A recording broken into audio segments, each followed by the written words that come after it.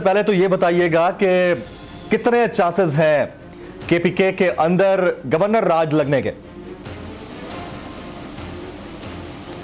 बिस्मिल्लाहिर्रहमानिर्रहीम।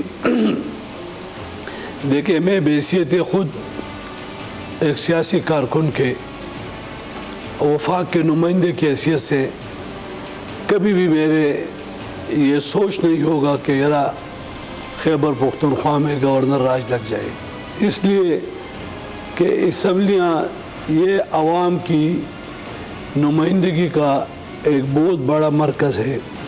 और यहाँ पे जितने भी मंतखब अरकान हैं चाहे चाहे वो सूबाई इसम्बली के हैं चाहे वो कौमी इसम्बली के हैं वो जाके अपने अपने इलाके की नुमाइंदगी करें। अब आप देख लें दिसंबर एंड हो रहा है। जी। और वैसे भी इलेक्शन सितंबर में इनका प्रोग्राम है। जी। अब और दूसरी जानब फरीक द्वेम जो है वो खुद कह रहा है कि अगर मई जून में हो जाए तो हमें इतराज़ नहीं। तो जब मई जून वो खुद कह रहा है तो सितंबर दो महीनों का फ़र्क है फिर।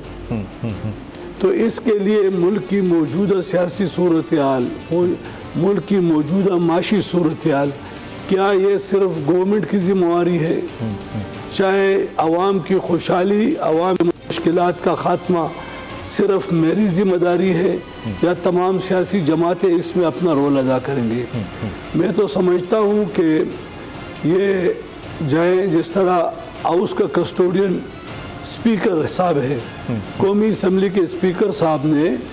एक से ज़्यादा बार कहा है कि ये आए और अपनी असम्बली में आवाम की नुमाइंदगी करें। नंबर एक। हालाँकि एक से ज़्यादा मिनिस्टरों ने कई बार कहा है कि ये तारीख पर तारीख क्यों दे रहे हैं? असम्बली तोड़ दें।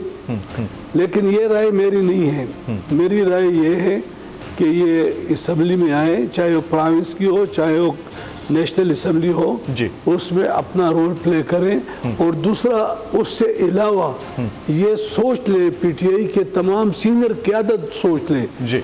कि भाई इस वक्त मुल्क की जो माशी सूरत हाल है सियासी अदम इस्तेकाम की तरफ़ अगर हम इसमें इजाफा करेंगे तो क्या पाकिस्तान की जो बिज़नेस कम्युनिटी है। पाकिस्तान के आवाम पाकिस्तान के नौजवान पाकिस्तान के माएँ बहनें ये नहीं सोचेगी कि ये अदम इस्तेकाम कौन बढ़ा रहा है। वेरी राइट अगर आपको ये वीडियो पसंद आई हो तो सब्सक्राइब कीजिए और बेल आइकन ज़रूर हिट कीजिएगा।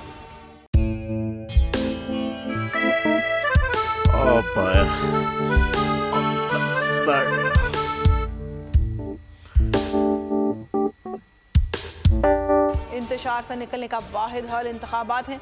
हकीकी आज़ादी मार्च आज रवा आयद के मुताबिक अगर आप उसको ये रिपोर्ट दे दे तो मैं आपको अपनी चार सीटें दे दूँगा। मौलाना। हाँ साहब वो वो जो रिमोट हमें दे दे और वो जो नीली पीली चैनल है वो लगाए। जाओ शबास।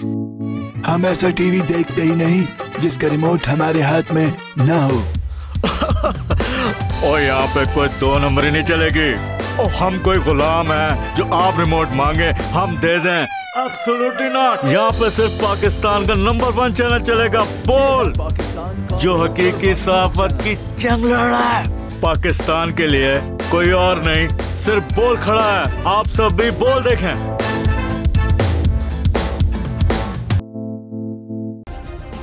सब्सक्राइब करें और बेल दबाएँ ताकि कोई खबर रह न जाए।